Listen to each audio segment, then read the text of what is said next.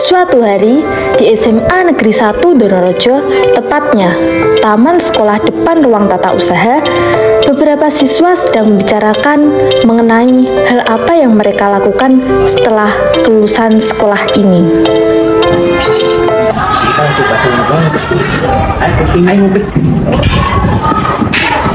Eh, kalian habis lulus nanti pada mau ngapain? Aku sih mau lanjut kuliah. Iya, aku juga. Aku mau nerusin pendidikanku. Alah, kalian para cewek ngapain sekolah tinggi-tinggi?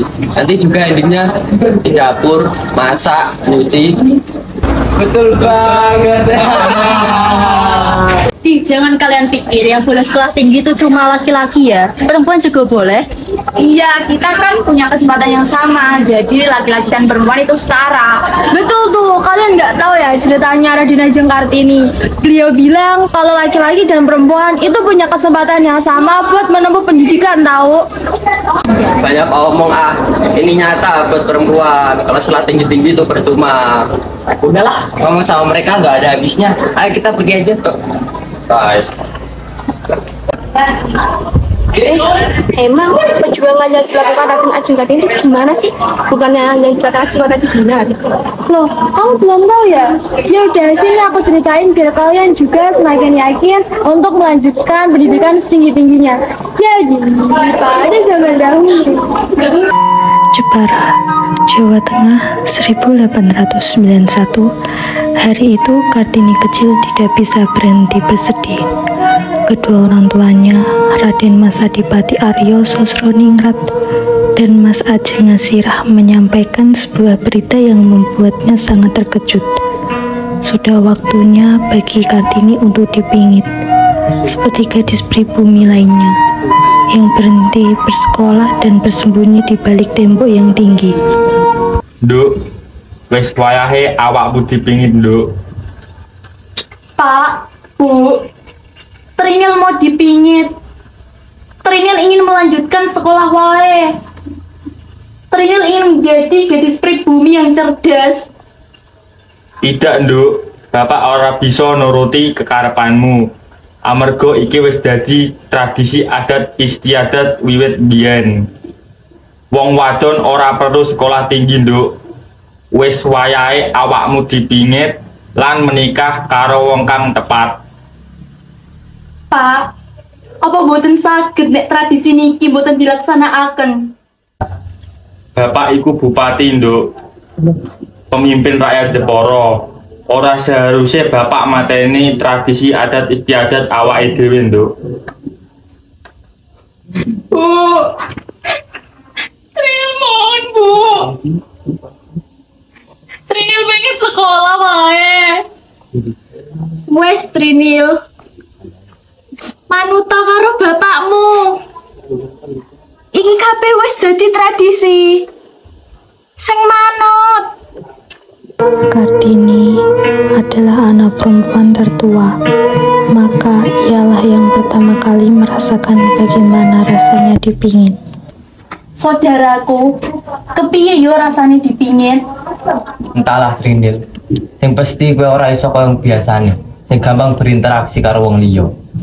Mergo kowe bakal dikawal terus. Aku mau dipingit. Aku pengen sekolah. Trindel, iki wis tradisi. Kue kudu manut. Sebagai gantinya, kami akan mengirim buku agar kamu tetap bisa belajar.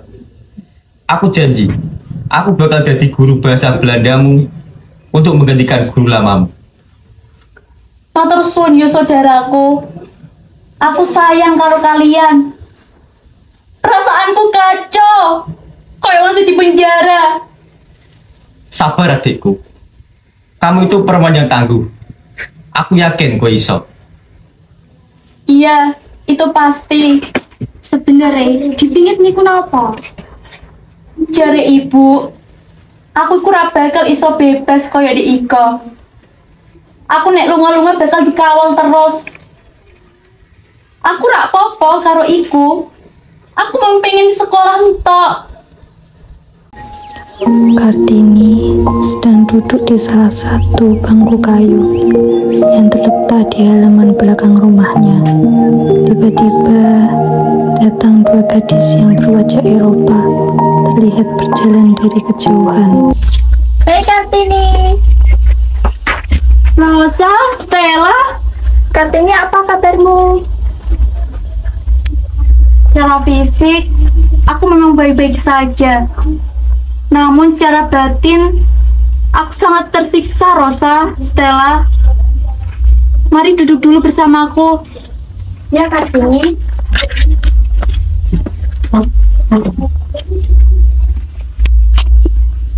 Kami pun mengerti Kartini, kami pun sangat merindukanmu. Tidak ada gadis pribumi yang ceria dan cerdas dirimu. Aku juga sangat merindukan kalian. Aku ingin kembali. Namun tradisi ini membuatku tidak bisa melakukan apa pun yang aku mau. Kalau kamu tidak bersekolah, kamu akan melakukan apa Kartini? Aku akan melakukan seperti apa yang dilakukan oleh gadis pribumi biasa, yakni dipingit. Setelah itu aku menikah dengan orang yang tepat. Kamu harus bersabar Kartini. Ini Kartini kami bawakan buku untukmu. Beberapa di antaranya berbahasa Belanda. Kamu bisa belajar dari buku-buku ini. Terima kasih banyak Rosa, Stella. Sungguh, aku tidak bisa mengatakan apa pun lagi. Tak apa Kartini, kami janji akan mengunjungi kamu lagi. Kita berdua akan selalu ada untukmu di masa sebelum. Hari-harinya pun diisi dengan semua hal yang katanya harus bisa dilakukan oleh wanita sejati. Ditambah dengan belajar bahasa Belanda melalui buku-buku yang dipinjamkan oleh sahabatnya dan kakaknya. Tiba-tiba Kartina Rukmini Sumatri menemui Kartini. Itu? Sebentar. Saudaraku, Daniel, ayo kita pergi. Ayo kita pergi ke Jepara, Daniel. tapi kan kalian tahu, aku ini dipingit. Aku tidak bisa pergi ke mana-mana tanpa pengawalan. Dan aku juga tidak boleh berinteraksi dengan masyarakat. Maka dari itu, kita jangan sampai ketahuan. Bapak dan Ibu lagi pergi. Wes, ayo. Ayo, ayo. Duduk sama-sama.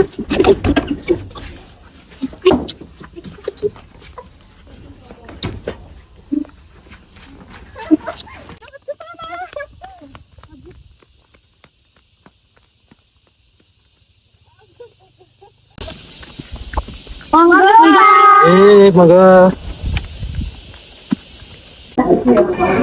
Ibu pun datang menghampiri Kartini yang sedang berada di kamar. Iya.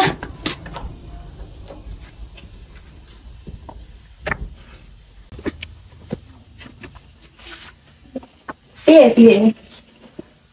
Aku sebenarnya pengen cerita karo ibu. Aku bener-bener pengen sekolah wae, Bu. Mengko Kartini juga ngusahake iso untuk beasiswa. Ibu ngerti. Kue bakal iso untuk beasiswa. Tapi kue kue dewasa. Wes wayahe Kartini. Wes wayahe nopo, Bu? Gak ono nek Jepara iki wong sing wis umure padelikur tahun kuwi sing durung nikah iku gak ono Kartini. Wis wayahe dipingit temiku mandek tekan kene. Hah? Pingitku mandek, Bu. Iya. Kepiye? Nek kowe nikah wae. Kali sinten? Ono Bupati Lembang. Jenenge Raden Mas Adipati alias Singgih Joyo. Yo emang wis nikah.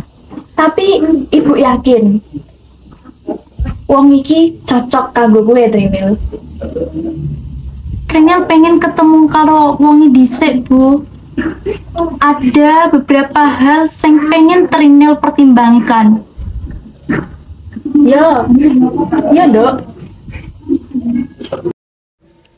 Kartini dan kedua orang tuanya berdiri di ambang pintu menunggu kehadiran sosok yang sudah ditunggu-tunggu. Jantung Kartini berdegup kencang, pikirannya kacau, ia masih belum siap. Bagaimana kalau lelaki itu akan menghambat bimbingnya? Dari kedatangan saya kemari ingin meminang putri panjenengan Raden Ajeng Kartini. Sebelumnya mohon maaf Raden Adipati Aryo Singgih untuk jawabannya kami serahkan kepada Kartini karena kami akan membiarkan dia mengambil keputusannya sendiri. Lalu bagaimana pendapat Kartini sendiri? Pak, Bu, sebelumnya izinkan Kartini untuk berbicara berdua dengan Raden Adipati Aryo Singgih. Boleh, Rinil.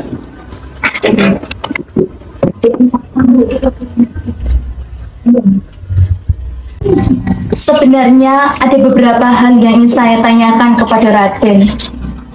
Boleh, apa itu Kartini? Saya sendiri mempunyai cita-cita untuk membangun sekolah bagi kaum pribumi, khususnya bagi kaum perempuan. Saya ingin antara kaum wanita dengan laki-laki disamaratakan. Wanita tidak lagi ditindas dan tidak lagi dikenal dengan kaum yang lemah. Menurut Raden sendiri, itu bagaimana? Sungguh, bagi saya itu hal yang sangat mulia. Sebelumnya, saya juga ingin melakukannya, namun ada beberapa hal yang membuat saya belum bisa melakukannya. Apabila Kartini ingin melakukannya, lakukanlah.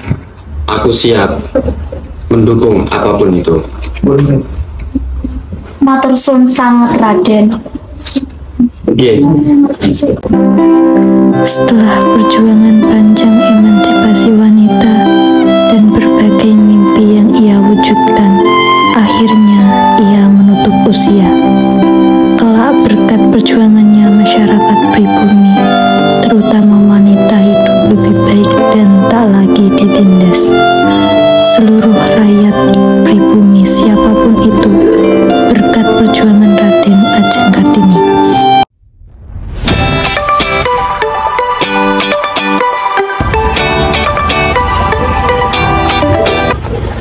Kalian sudah tahu kan seberat apa perjuangan Raden Ajeng Kartini untuk dapat membuat kaum kita bisa bersekolah seperti ini? Iya ya, tentunya kita hidup di zaman sekarang. Jadi kita sebagai perempuan sudah tidak dikekang oleh tradisi perjodohan lagi. Tidak terbayang bagaimana rasanya menikah dengan orang yang tidak kita cintai. Apalagi kita belum mengetahui bagaimana sifatnya, ya kan? Nah, makanya itu kita harus semangat belajar dan menggapai cita-cita kita. Kita nggak usah pikirin kata-kata cowok-cowok tadi. Iya, aku sangat berterima kasih kepada Raden Ajeng Kartini. Aku akan membuat sebuah karya puisi untuk mengungkapkan rasa terima kasihku kepada beliau. Wah, kalau begitu aku juga akan membuat karya poster perjuangan Raden Ajeng Kartini, lalu kutempelkan di mading sekolah. Kalau begitu, aku akan bantu kalian ya. Ayo kita buat sekarang. Iya, ayo.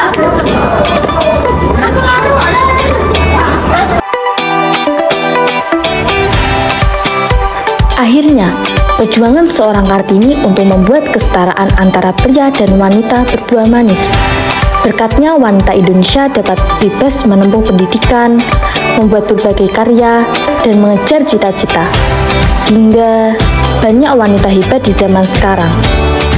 Inilah dampak emansipasi yang dapat diambil dari perjuangan Kartini di masa hidupnya.